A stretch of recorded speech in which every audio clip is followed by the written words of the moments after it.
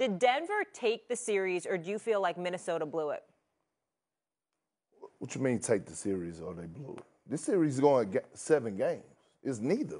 This series is going seven games. Minnesota is going to win win game six, and then it's going to be a game seven, and Minnesota is going to pull it off. I, mm. listen, I have Who's going to pull it off? Minnesota is going to pull it off. I had before the series started, I had Minnesota winning this in seven games, and damn it, they're going to get it done.